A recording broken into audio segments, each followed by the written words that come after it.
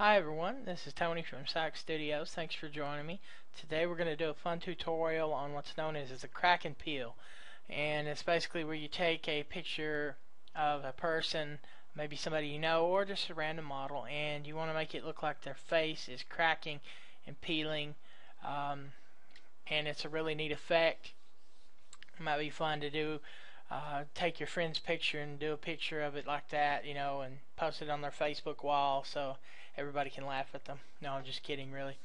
Um, before we get started, though, one of uh, my previous viewers told me that uh, my voice sounded like Forrest Gump. I kind of reminded him Forrest Gump, and I am from the southern area. And to him, if he's watching, I'd just like to say that uh, I may not be a very smart man, but I do know how to Photoshop Jenny. Okay, now I had to get that out of the way, so let's get started. Alright, we've got our picture of our model open. I've removed the background to make this easier for us because we're going to use a clipping mask later. So I've opened up our cracks picture that we're going to use and you can find this off Google Images or stock photo website. We're just going to go ahead and copy it and we're just going to paste it right over the top of this. Alright, so now we've got everything we need there. We're going to go ahead and lower the opacity to about 50%, give or take. Okay. And what we also want to do is change the blend mode to multiply. So in the list, we're going to go to multiply. Alright. Now we need to adjust the levels. So normally I recommend using adjustment levels because they're non-destructive, but in this case we're just going to hit Control L, bring up our levels box. Now for you, you may have to play with it a little bit. Um, I find for this, the values that work pretty well are around 30 for the shadows, um, around 89 for the midtones, and somewhere around 195 for the highlights.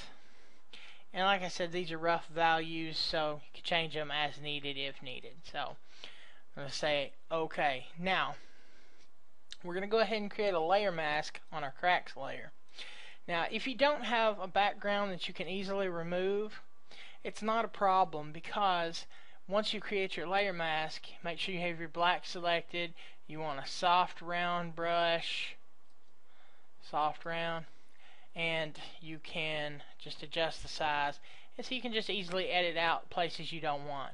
But if you do have an easily removable background a nice little trick that I like to use is I'll come over here and um, I can right click and create clipping mask and you see how that removes everything except for where the cracks are. Now we do have a couple things we need to fix. If you take a look at it we'll zoom out and look. The eyes and the lips have cracks running across them that just doesn't look natural. So what we're going to do is we're going to use that layer mask that we made and we're just going to go ahead and fix that. So with the black selected, we're just going to go ahead and remove the cracks from the lip area as so because we want it to look natural and obviously these cracks aren't going to run across her lips that way and of course the nose area. There can't be cracks running through imaginary areas in the nostrils. And so on like that there. Alright and then we want to remove them of course from the eyes. Around the eyes is okay. We don't want cracks actually inside the eye. That just doesn't look right. So we do a quick removal of those Remember, we're all just doing this using our layer mask. So, quite easy to do. And now we're covered. We've got, you know, our our cracks. You just kind of want to make sure they line up and look natural. So you've got a crack over here on the ear that's not quite right. So you fix that and uh, come over here and maybe make an adjustment here, there. Alright, now what we're going to need to do is go ahead and bring in our good old burn tool. Now what you want to do is select your your first layer with your model on it and you just want to size down your brush a little bit and we just want to go over some of these some of these cracks. Make sure you're set to highlights up here in the range. And what, what we're doing is we're just darkening and really bringing out some of the cracks to make it look a lot more realistic. And I'm going kind of fast. You can spend more time if you like, be more precise. Um, we just really want to make those cracks pop. We want to make it look like her face is really, really, really about to fall off.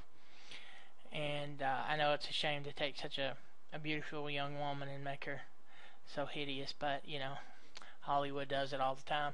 Now, also, um, as we were talking about before, using this layer mask, you might, you know, this is totally up to you, but you might want to go ahead and remove the cracks from the eyebrows themselves because generally, the, you know, you wouldn't get the cracks in hair like that. So uh, that's totally up to you. You decide if that's what you want to do. In this case, I am going to do that because I want a natural look. We're just going to remove those cracks in the eyebrows. And like I said, don't be don't be scared if you go over and mess mess it up because you just flip back to white and you just fix any spot where you accidentally messed up. Okay, that's looking pretty good so far. But now we need to bring in our other rust image that we're going to use to create what looks like a hole in our model's face. So I'm just going to copy it and we're going to make sure we have our top layer selected, paste it in. We're going to drag it around. Let's go ahead and change the blend mode on that to multiply as well. And there we go. So you just kind of want to adjust it, see where you want it to be.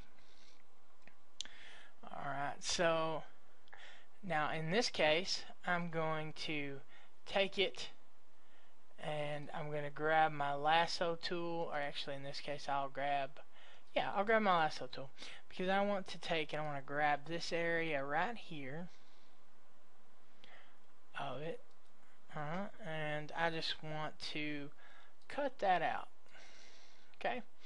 And uh, now let's go ahead and paste it. We'll get a new layer from that and we'll just put put that over here for later so now that we've done that we want to go ahead and create a layer mask on our rust texture. Alright and once we've done that let's go ahead and let's go ahead and remove the area around it. Alright so we're just gonna gonna jump in here get rid of everything except for that big gaping hole that we want to keep.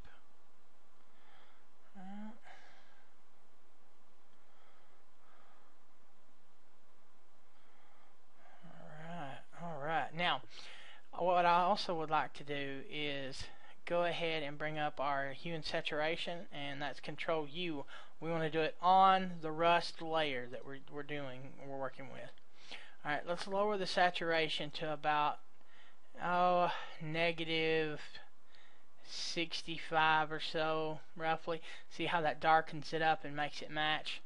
That's great. Now let's go to our next layer that we pasted in, because is just going to be another area that uh, just just looks horrible, um, you know, because of the the problems with her face, you know. So we just we just want these cracks and tears and you just kind of decide where you want it. So let's go with it there. Let's create the layer mask. And again we're just gonna remove the excess around it. The stuff we don't need the stuff we don't want.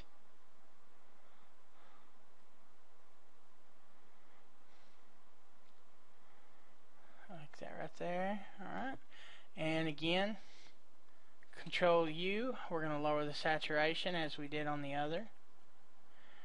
Alright, 60, roughly 65, 66.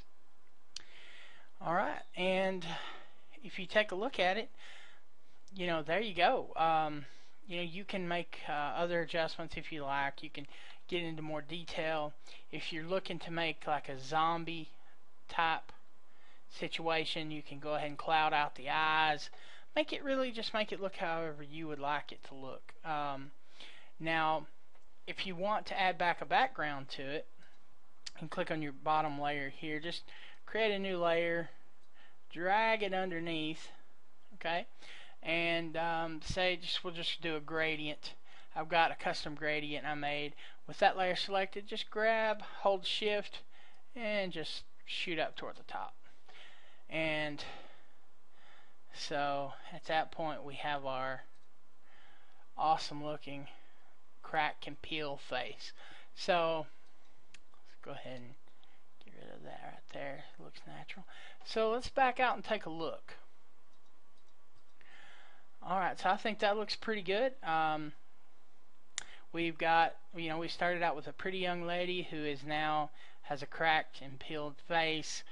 Um, that's a fun effect you can do to your friends. So this is the end of this particular tutorial. Um, Tony with Psych Studios. If you liked it, subscribe to my channel. There'll be plenty more coming. Uh, like and comment, please, if you like it. And um, have a great one. Thanks for stopping by.